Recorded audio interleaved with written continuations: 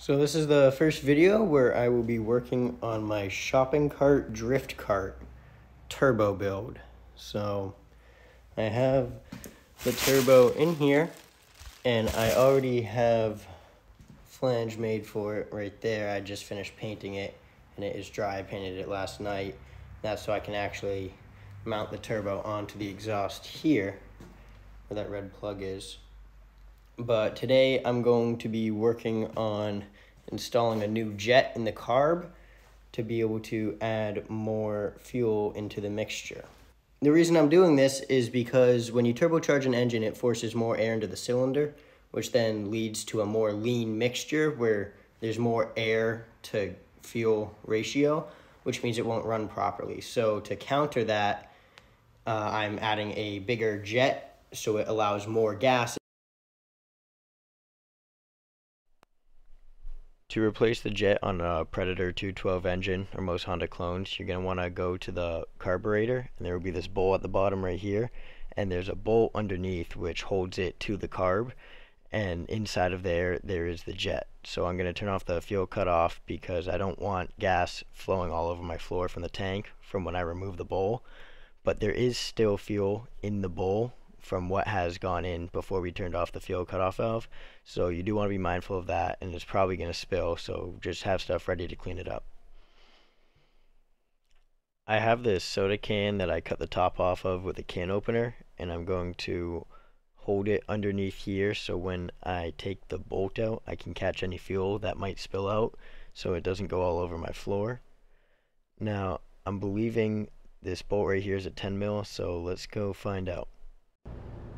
Alright, now that I have both hands free, I'm going to try to crack this loose and see if I can get it off. Oh. I'm going to keep twisting it until a little bit of fuel starts coming out and then I'm going to place the, oh, there we go. So I'm going to place the can underneath and then I'm going to slowly unscrew the bolt and try to catch any fuel that might be dripping. So I'm just going to keep unscrewing it here and okay, so the whole bowl came out so there's still fuel in there.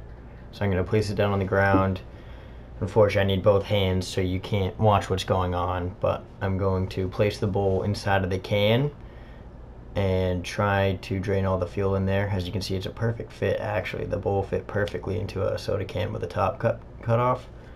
So I'm just going to let it drain in there and uh, just kind of let it do its thing and try not to make a mess. So right up here is actually the float that controls the fuel flow into the bowl for the carburetor. Uh, so it just kind of floats on top of the fuel, and when it goes low, it needs more.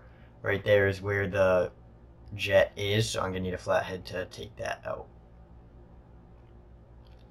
Now I have my flathead screwdriver, and I'm just going to go in there, and I'm just going to try to unscrew it. As you can see, I got it right here, so it was a little difficult to see, so I had to crawl underneath. Uh, so I'm just unscrewing it right now. I'm going to try to take it out without dropping it because it is a small piece and I don't want to lose it. You can see how small it is right there. So let's go grab the other jet and uh, let's check it out. So this is the jet I just took out, which has quite a small hole. I mean, it should. It's the stock jet. It's set for what it's set for.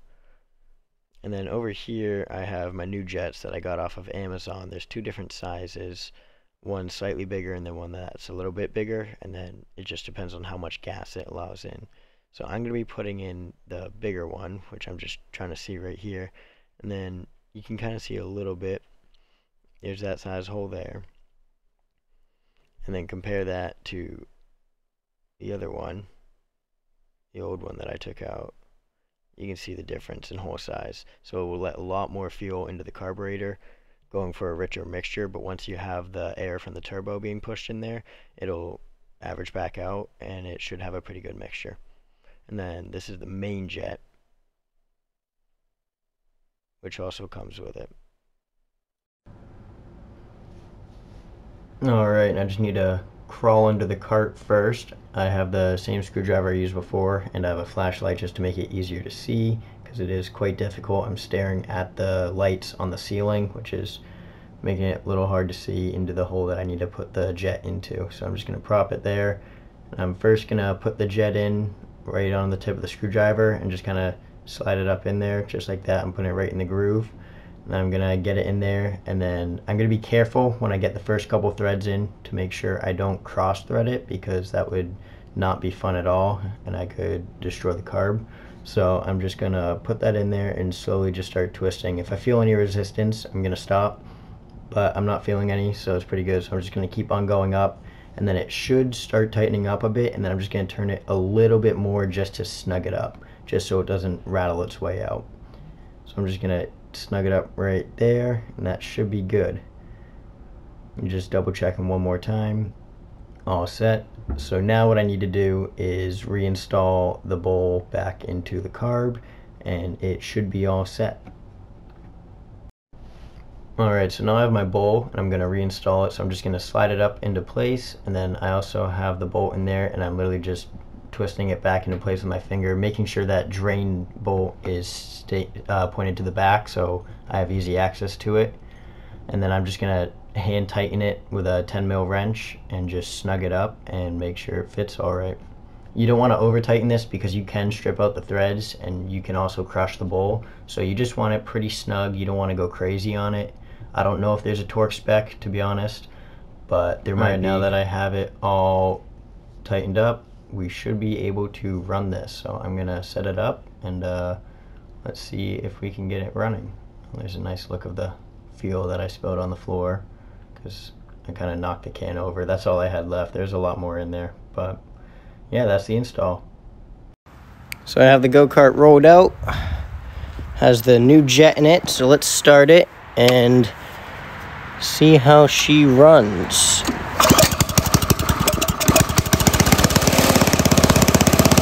That's definitely a lot richer.